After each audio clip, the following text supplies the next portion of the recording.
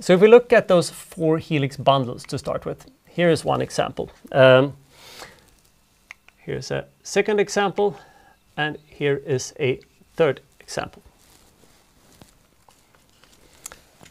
They are seemingly similar, but you would probably say that that one is reasonably ordered, that one is reasonably ordered, and this one is a horrible mess.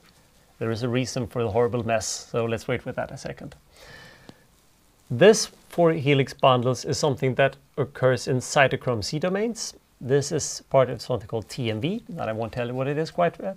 And this is a hemerythrin all these are anti-parallel. I haven't talked to you yet about anti-parallel versus parallel when it comes to helices, but anti-parallel with helices just means that I have one helix going up here, and then I have a loop, and then a helix going down, and then a loop, and then a helix going up, and then a loop, and then a helix going down.